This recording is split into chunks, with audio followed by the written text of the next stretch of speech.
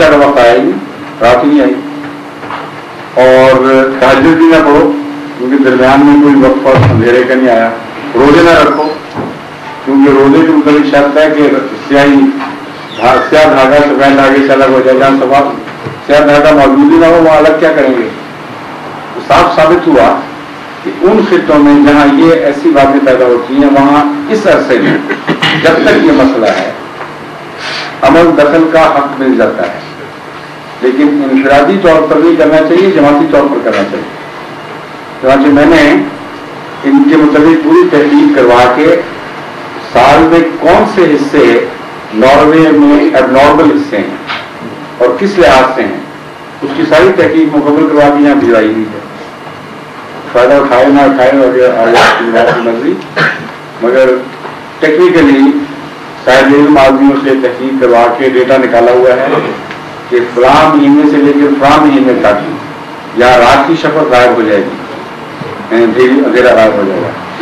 फला महीनों से फला महीने तक ये प्रॉब्लम होगी सारा उसके ऊपर मौजूद है डेटा जितना नॉर्थ में जाए, उतना ही अर्सा बढ़ता जाता है।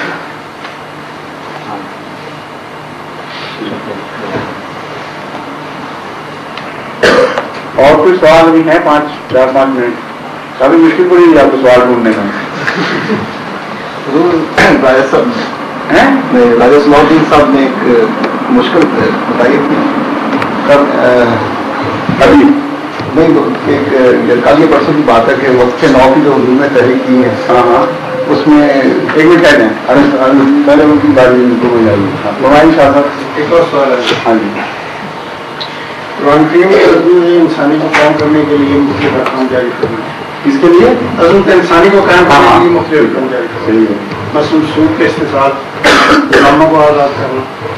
भाइयों का ये इस्तेमाल है कि कुरान करीम ने खंजीर को आराम करार दिया सूद को आराम करार दिया लेकिन गुलामी को आराम करार नहीं दिया।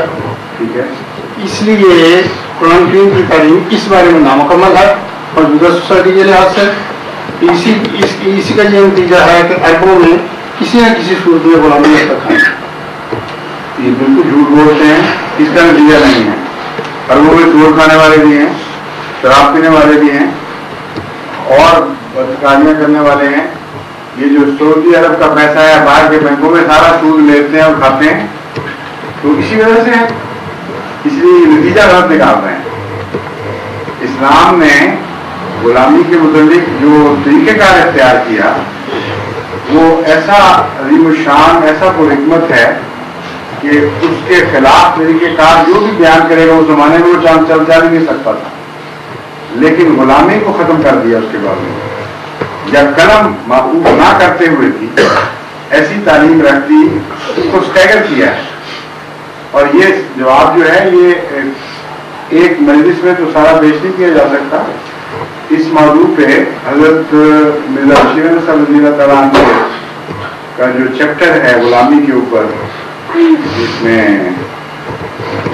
खातम नबीन जो किताब है, आपकी सीरत की, उसमें वो पढ़ें आप। कुछ इस दफ़ा जैसे सलाना की तकरीर में भी मैंने नोट्स में रखा हुआ था, पता नहीं वक्त लगा था कि नहीं, लेकिन वो आंदा आ जाएगा।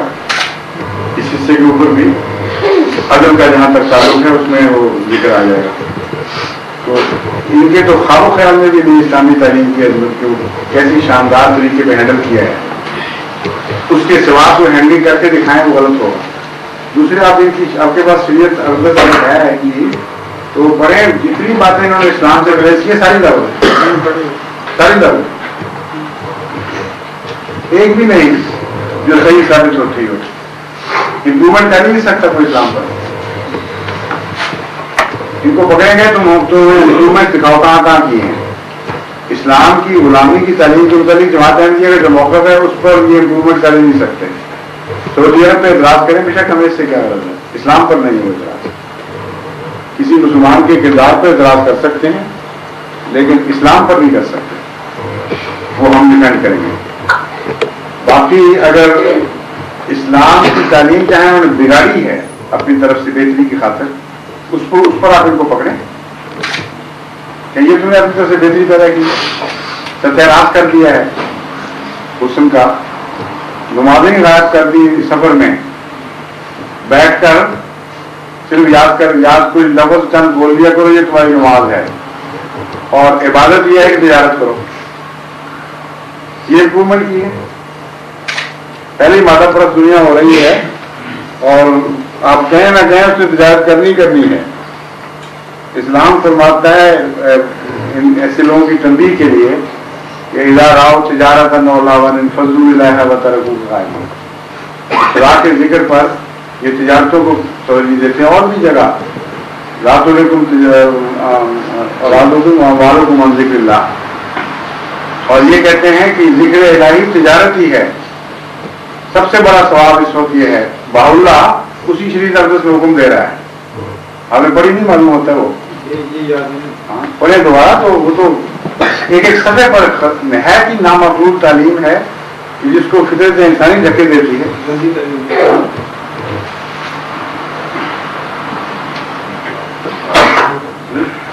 हाँ, है?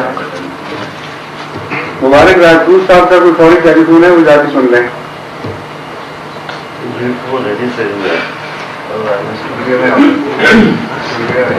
में स्टूडियो में है? अच्छा और कोई आपने किसी और ने भी सवाल आप मौनी मौनी साहब आप जो, वैसा का जो मसला था वो उन्होंने जो भी बयान नहीं किया। जो पेश की जो मैं समझू वो मेरे दिन में दी हुई है। अच्छा अच्छा।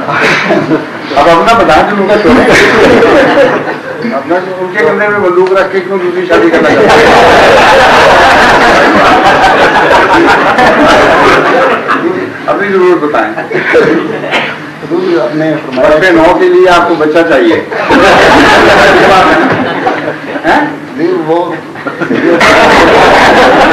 मैं ये करना रखूँ कि हजूर ने फरमाया कि वक्फे नौ के लिए जो आइंदा बच्चे पैदा हों हाँ, हाँ। वो किए जाएँगे इंशाल्लाह।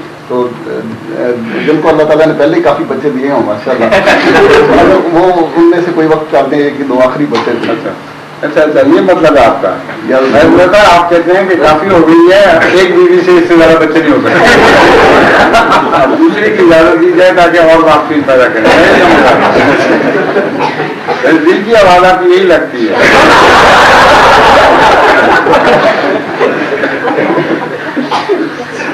है कि ये सुन रही वरना आपको माफ़ कर दिया करें आप अगर वो नहीं हो सकता वाकई तो लिख के भेजें यहाँ मजलिस में सवाल करने वाला तो